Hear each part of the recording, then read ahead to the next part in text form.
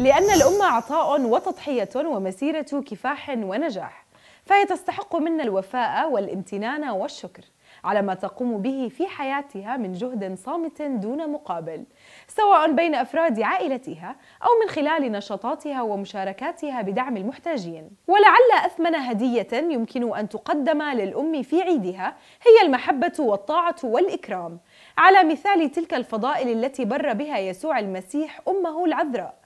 إذ أن للأم قيمة لا تقارن بأي شخص آخر في الحياة. ومهما اختلفت البلدان في التعبير عن معنى العيد يبقى عيد الأم نبراسا وعلامة حية على استمرار الحياة.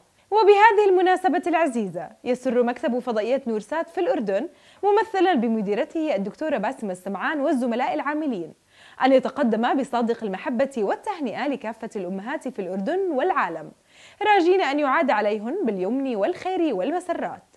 وقد زالت كل الأسباب التي يواجهها العالم الآن بسبب الوباء العالمي الناتج عن فيروس كورونا.